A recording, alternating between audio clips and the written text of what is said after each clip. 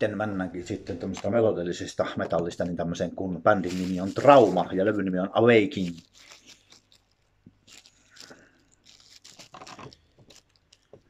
Jälleen kerran The Band uh, One Most Only Keyboard Cliff Burton siunaa meitä uudella julkaisullaan, mutta kuten Hook huomautti, valitettava, että ihmiset tietävät trauman vain tästä syystä. Mutta luulen, että se on vaan reilua ottaa huomioon, että heidän vuoden 2015 paluunsa Repture Front oli hitaasti räjähtävä tylsyys ja vuoden 2018 seurasi As the World Dies ei ollut paljon parempi sekään. Vaikka ollut hieman parempi, mutta ei silti parempi. Merkitystä trauma on vain Clippurtonin käsissä. Siis sanon varsinkin otettaa huomioon, että bändi, bändi jo, jo loi tappajan Strat on Screamin ilman Purtonia. Eli niin, Clip Purtona ei ole enää mukana. Mutta poikkeaa niin kuin perus, perustajarumpali Chris Gustafsson on palannut yhtyeen tuoreen kitaran duon entisen testamentin voimamiehen Greg Christiansin ja, ja vähän tunnetun Brian Allenin entinen Vikius Rumors kanssa. Ja yhdessä nämä jätkät on tämän albumin Awakening on todellinen trasser, eli thrash metallin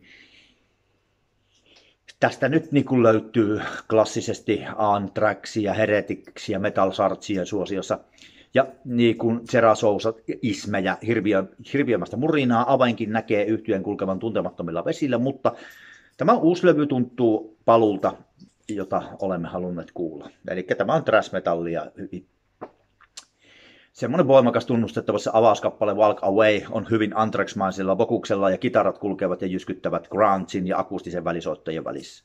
Kaksintaistelusoolojen vaikuttavaan harmoniosin läpi. Laulu sekoittaa röyhkeitä, säkeitä, koukuttavaa huimaa kuoroon. Sen, eh, se on turvallinen kappale, se on luultavasti ainoa turvallisen kappale albumilla. Ja vastakkaiset Death of Angel ja Meat ovat raaman puoli, jota ei ole ennen nähty. Molemmat kappaleet ovat pimeitä, mutta kantavat sitten kuitenkin tuhoavaan paljon. Riffit murskaavat, laulu on ihan saatanan julmaa ja harmoniat kitarat täräyttävät rummut huippuluokkaansa. Death, in, uh, Death of the Angel on näyttää myös toisen puolen Allenin äänessä tällä kertaa puhdistuksella, jotka, jotka huutavat Stuck-blogin johtaman Aiset Eartin päiviä.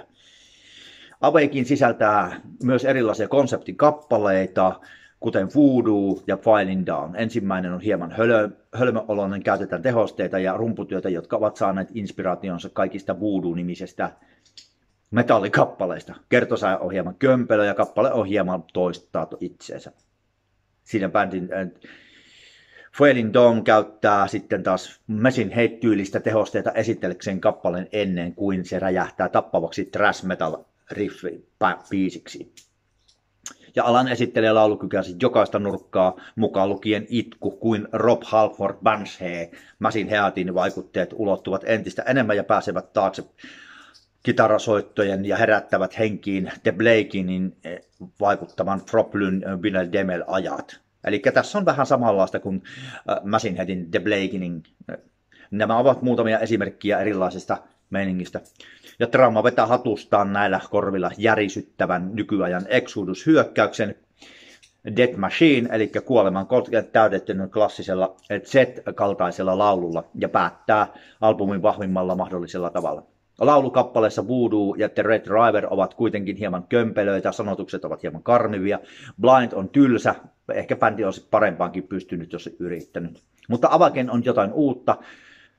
Bändi, joka tunnetaan Click Purtonin syntymäpaikkana ja vihdoin tehnyt itsensä merkittyleksi thrash metal yleisölle, niin äh, mistä nämä massiiviset riffit ja nämä vaikuttavat kitarasoitto ovat loppujen lopuksi peräisin, en sitä en osaa sanoa. Mutta bändi pystyy kyllä kaivamaan aivan helvetin hyvän lövyn, eli Avainko on yhtä energinen kuin Trauman äh, debyttilevy äh, 984. On hyvä elämän takaisin äh, vanhoissa äh, luissa ja ytimissä.